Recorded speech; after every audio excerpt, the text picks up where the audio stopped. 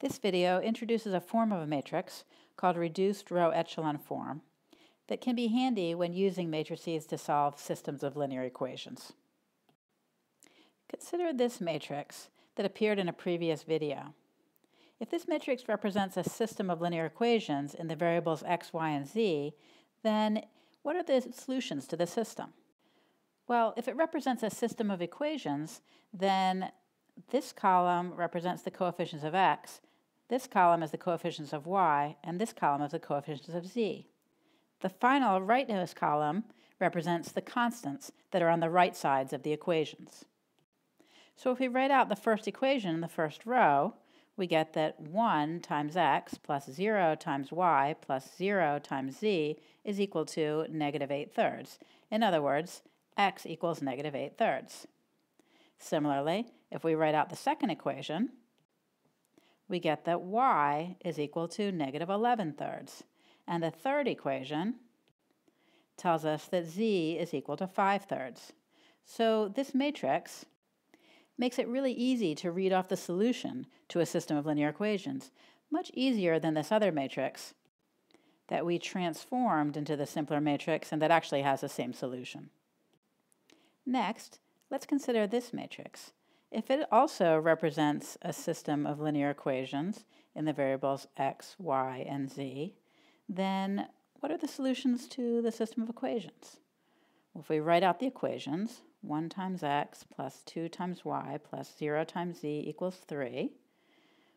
1 times z equals 7. And the last equation doesn't really give us any new information. It just says if we, multiply, if we use 0 coefficients for all the variables, that adds up to 0. We can rewrite those equations a little more simply by saying that z equals 7 and x plus 2y equals 3. There's no unique solution here as long as z equals 7 and x is equal to 3 minus 2y, we can make y be anything we want. For example, if y equals 0, then x would be 3. If y equals 1, then x would be 1 also. So we have infinitely many solutions. They're just all of the form 3 minus 2y, y, 7, where y can be anything but it's still pretty easy to read off that information just from the matrix.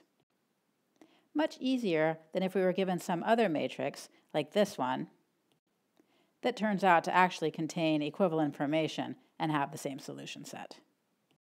So what properties of these two matrices makes it particularly easy to read off the solution to the associated system of linear equations? One property is the presence of all these leading ones. The first number in each row that's not entirely zeros is a 1. Another property is the presence of lots of zeros. Notice that when for each leading 1, all the numbers above it in its column are zeros. We'll use these two properties, the presence of leading ones and the presence of lots of zeros, especially above the leading ones, along with a couple other properties, to define something called reduced row echelon form. This is the form of a matrix that makes it particularly easy to read off the solutions for its associated system of equations.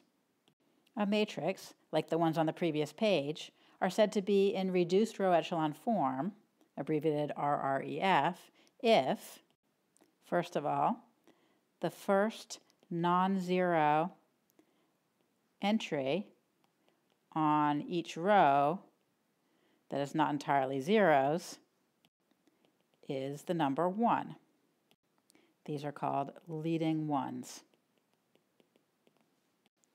That's certainly true for this matrix. For the two rows that aren't entirely zeros, the first entry that's not zero is a 1. Second of all, the leading ones are in descending order. That means that each leading one is to the right of the leading ones in higher rows. That's also true in this example. This, this leading one has no higher rows, but this leading one is to the right of the leading one in the higher row. If I switched the first and second row of this matrix, though, then this property would no longer hold because this leading one would be to the left of the leading one above it, not to its right. The third property is that each leading one has a column of zeros above it. In other words, it has a zero above it in every row above it. So in this example, this leading one doesn't have any rows above it, and this leading one only has one row above it, but it does have a zero above it in that row. And the final condition is that if there are any rows that are entirely zeros, they must be at the bottom of the matrix. Definitely true in this example.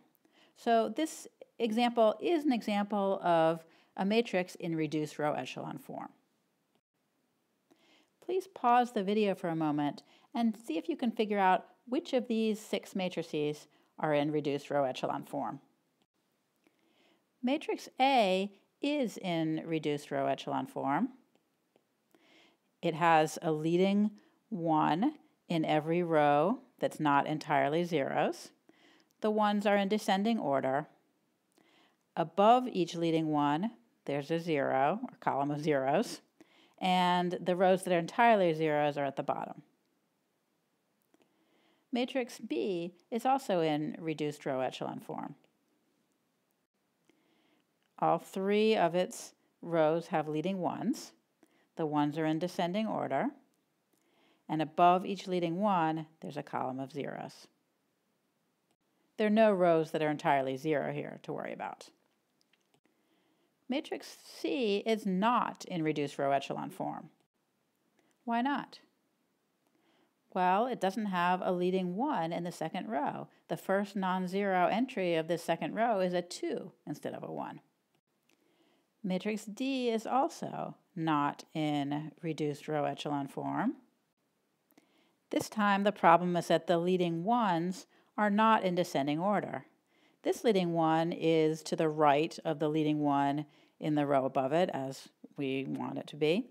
But this leading one is actually to the left of the one, the leading one in the row above it.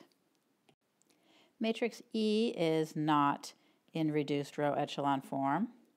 It does have the leading ones, and they are in descending order, but we don't always have zeros above the leading ones. In particular, this leading one has a 1 above it, not a column of zeros. Finally, this last matrix is not in reduced row echelon form either. This time it's the simple matter of the row that's entirely zeros is supposed to go at the bottom. In this video, we introduced an especially nice form for a matrix called reduced row echelon form. To be in reduced row echelon form, a matrix has to have a leading 1 in each row that is not entirely zeros, the leading ones have to be in descending order. The leading ones have to be topped by columns of zeros. And any rows that are all zeros have to go at the bottom. In a future video, we'll practice getting matrices into reduced row echelon form using an algorithm called Gaussian elimination.